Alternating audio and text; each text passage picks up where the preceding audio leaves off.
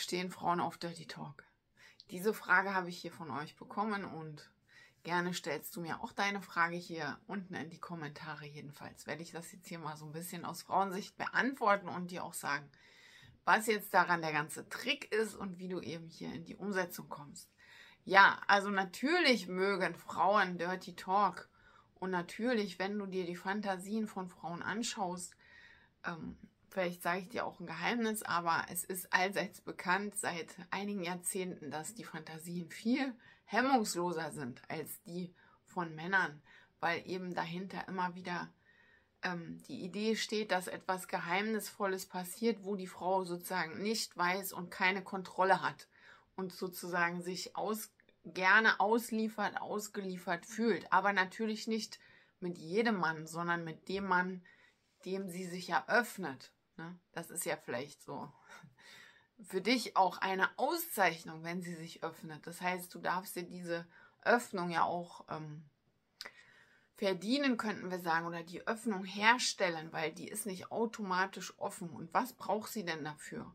Ja, also oftmals ist es doch so, dass wenn der Mann eben erregt ist, also ich sage jetzt erstmal, was, was sie nicht braucht, wenn er erregt ist und dann irgendwas total hemmungsloses sagt, wie zum Beispiel, ja, bück dich oder zieh dich aus und ähm, sie vielleicht in dem Zustand, wo sie schon so total erregt ist, dann macht sie die Sachen, vielleicht am Anfang der Beziehung macht sie die Sachen, aber je länger ihr zusammen seid, macht sie diese ganzen Dinge eben nicht mehr, weil ihr der Ton sozusagen zu rau, zu rough ist. Ja, also das ist zu hart.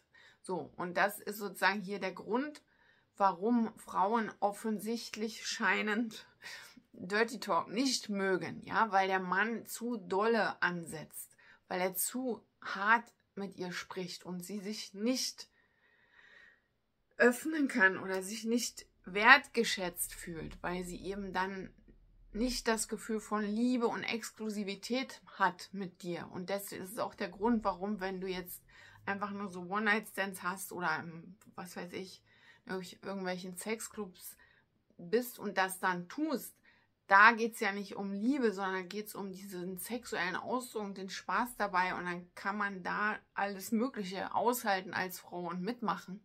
Ja, aber das ist dann im Rahmen dieses Settings. Aber von meinem Liebsten erwarte oder wünsche ich mir natürlich eine Herz-zu-Herz-Verbindung und eine Nähe und dass er mich auffängt und dass er auch fürsorglich ist.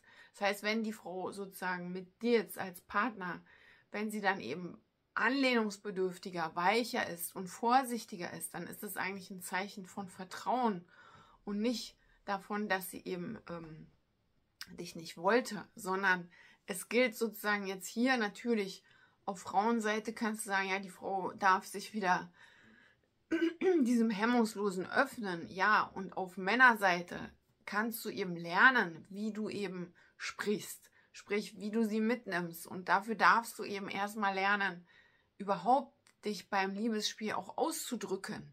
So, und dann gibt es einen wunderbaren Trick oder eine, eine Brücke, die ich hier meinen Männern, die, mit denen ich arbeite, auch immer mitgebe.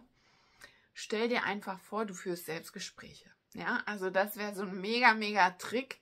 Stell dir vor, du führst ein Selbstgespräch und zwar in zwei Wortsätzen. Wie schön. Ja, gib mir mehr davon. Ich liebe das.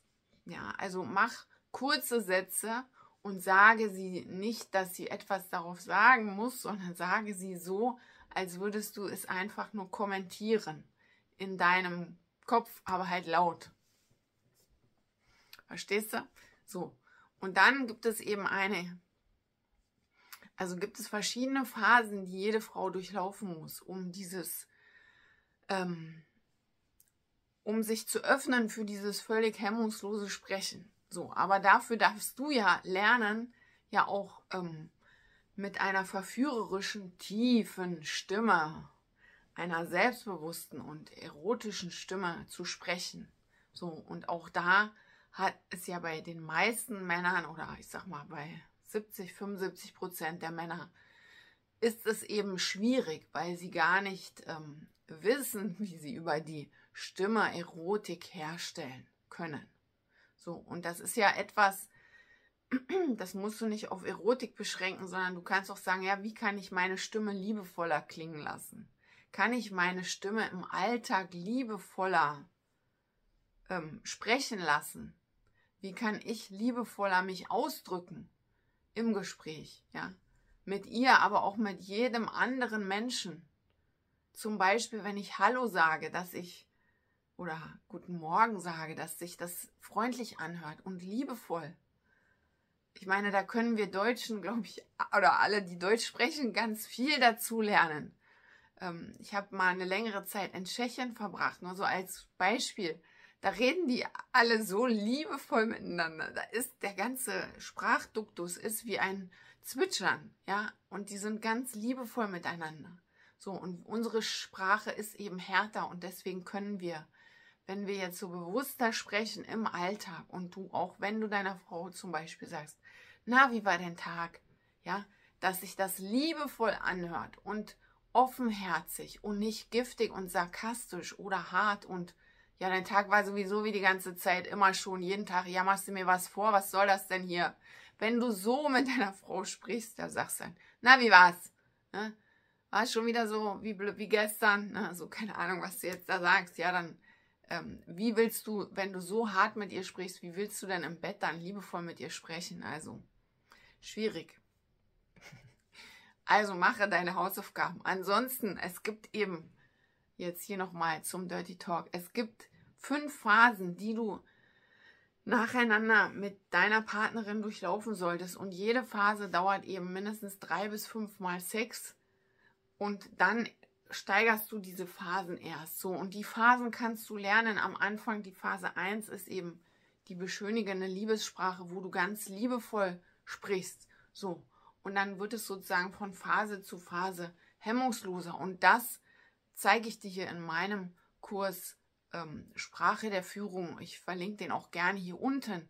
Da kannst du lernen, wie du eben mit ihr hemmungslos und leidenschaftlich sprichst. Du lernst auch ganz viel darüber hinaus noch über das Liebesleben der Frau und die Erregung und die, sag ich jetzt mal, Faszination an dieser, an diesen wilden Fantasien. Lernst du ganz viel. Du kriegst auch noch am Ende ein, ähm, ein Skript, so eine Art Skript, wie du halt das planst, was du da alles so vorhast, damit du dich nicht ver, äh, ja, vor lauter Gedanken da verhedderst und nicht mehr weißt, wo du jetzt, äh, wo du gerade warst und wo du noch hin willst. So, also in diesem Sinne, schau dir das mal an und dann ähm, übe das wirklich im Alltag liebevoll zu sprechen und wirklich über deine Stimmlage, Stimmklang, Wohlgefühl herzustellen, ja.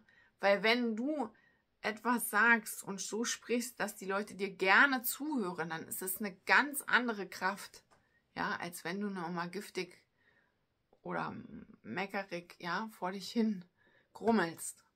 In diesem Sinne. Bis bald.